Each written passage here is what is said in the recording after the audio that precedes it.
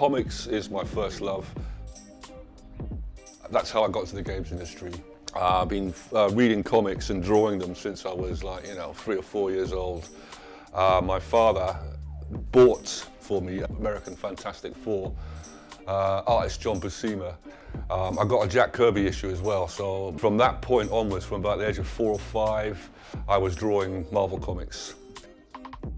I was really into games and storytelling anyway, but it wasn't computer games. And it was only after I left art college um, that I got into games by accident because they wanted a 2000 AD style artist.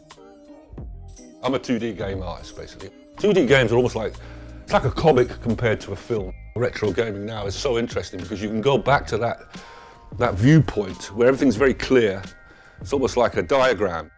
The stuff we did for Code the Classics is it's like a celebration of the retro scene without the restrictions. The colours, the resolution, it just gives you that much to really get character going. So you can celebrate retro games in the modern sense, I think, yeah.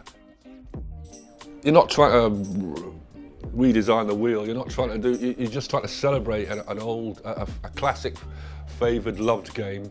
Make it look different, because you, you know, you don't want it to look like the original game, but it's the same mechanic, it's the same way of playing. So hopefully when people play those, they'll enjoy them, you know.